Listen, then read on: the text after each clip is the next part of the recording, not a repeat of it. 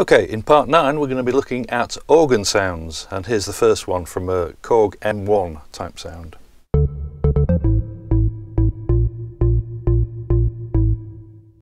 And then a whiter shade of pale.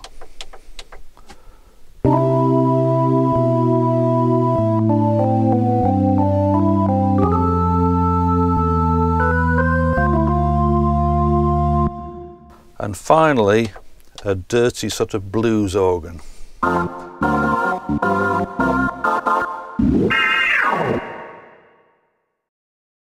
Okay, segment number nine is looking at organ sounds, and of course, the most famous organ sound is the Hammond organ sound, and it's a form of additive synthesis. Uh, what I mean by that, is instead of taking um, waveforms that are rich in harmonics, we're taking very simple waveforms, adding them together to create a new waveform.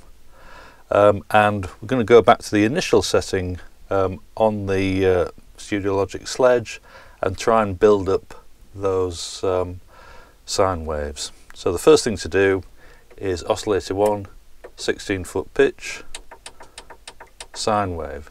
Let's take out oscillators 2 and 3 and just listen to that sine wave. Very pure sound. Okay, if you pull out the first three drawbars of a Hammond organ, the first uh, drawbar is 16 foot, the next drawbar is five and a third. What that actually means is it relates to this note here, a G. So we're going to get oscillator 2 to do that G. So we need a 8 foot pitch and 7 semitones.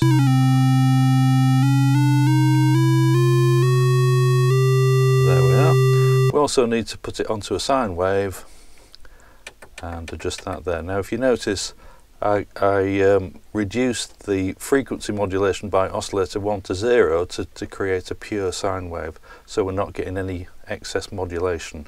Um, I'll explain that in another segment but uh, we also want to do uh, oscillator 3, sine wave and reduce any frequency modulation by oscillator 2 to 0 so we'll get the complete sine wave. Okay, just to recap, we've got 16 foot oscillator 1, we need this pitch and we need this pitch. So um, oscillator 3 is going to do that one. And oscillator 2 is doing the one in between. So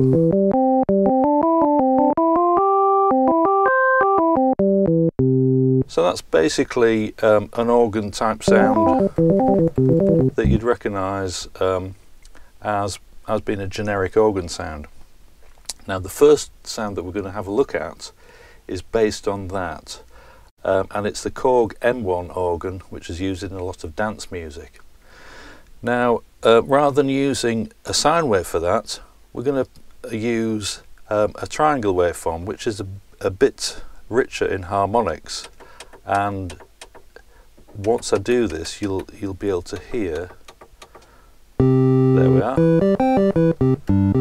there it's a brighter sound.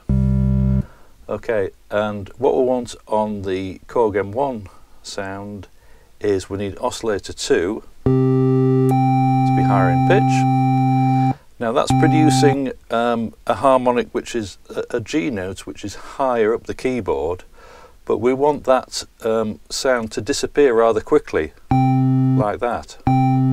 Now I'm adjusting the mixer here but we can get the filter to do exactly the same job. So we're going to move over to the filter section now. Okay the first thing that we're going to do is alter the cutoff frequency to 66 again quite mellow. There's 66 um, we don't need um, any resonance and we need the key track to be 91. We want it to, the filter to alter the, um, to follow, should I say, the keyboard up and down. Uh, don't need any drive. The filter envelope is crucial in this one. Attack time 0, decay 56, uh, sustain 0, release 0. Now once I introduce the filter amount, you'd be able to hear that higher harmonic um, percussively coming in and then disappearing again. So amount 28. There we are. And this gives us our um, Korg M1 sound. Let's just put a little, little bit of reverb in with that as well. Here we go then.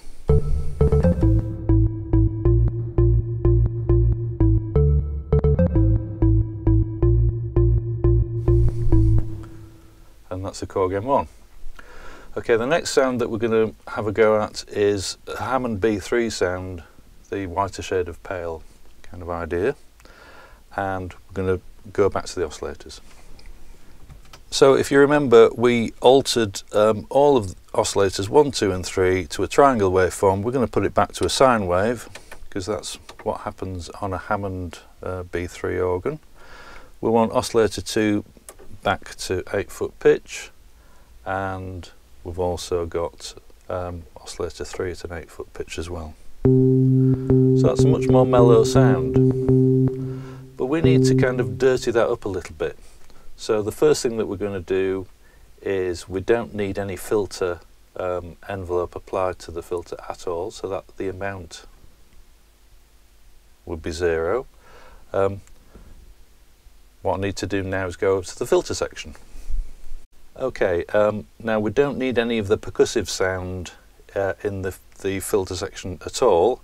Um, in fact, the filter can be fully open and the amount reduced to zero. We're still getting a mellow sound because all of the oscillators are on sine waves, so it's still quite mellow. But we want to dirty that up a little bit. Uh, let's introduce some pink noise.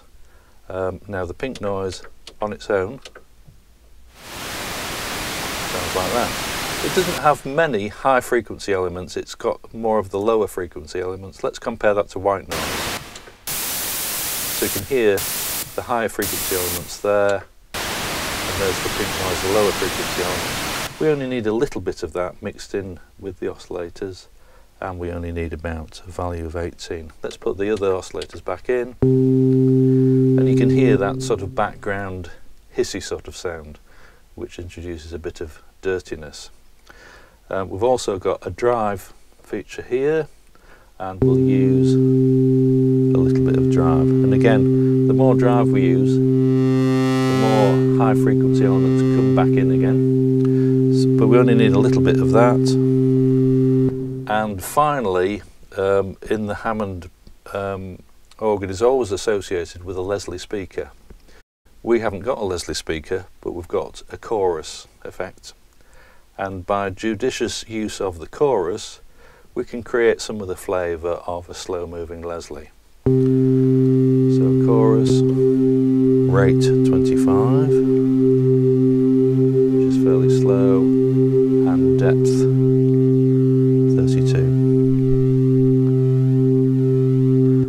here's our whiter shade of pale.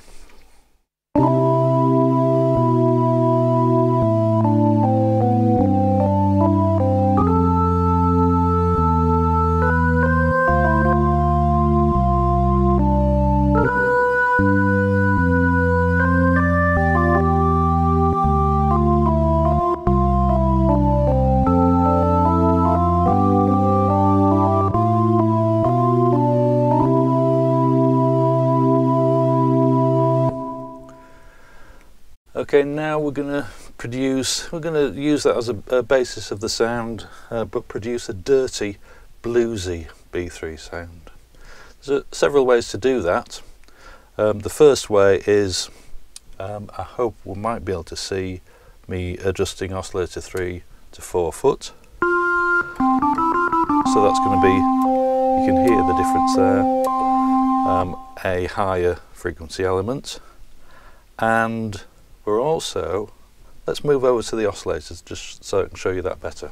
So we're going to use oscillator 3 at a higher pitch, then we have 4 foot pitch, and we, we're going to be using something called frequency modulation by oscillator 1.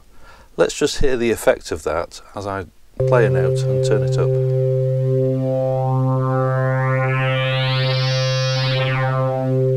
Now that's introducing um, a frequency modulation by oscillator 1, it, it the, the audible effect of that is to in, increase um, harmonics of, at a certain uh, level.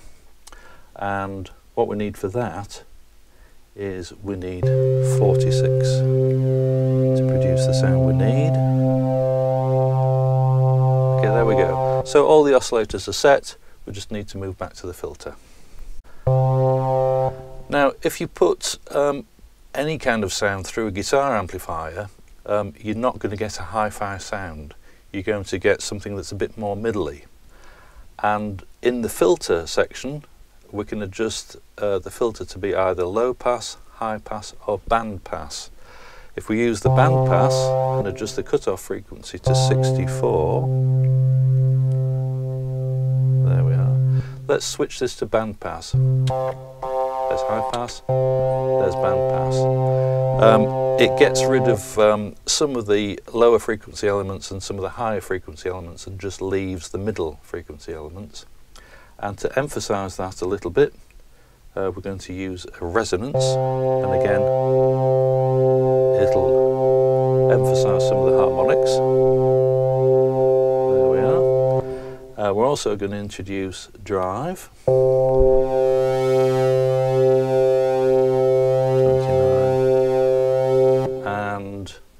Pink noise is going to rise again to about 26. So we're, we're kind of destroying the, the nice pure sound by kind of making it dirtier. Uh, and we're going to even introduce a bit more drive. Um, let's also make the chorus unit um, emulate a fast Leslie. So uh, the depth control will be 42, a bit more depth and a bit more speed. To 83. So now we're getting a dirty uh, B3 type sound.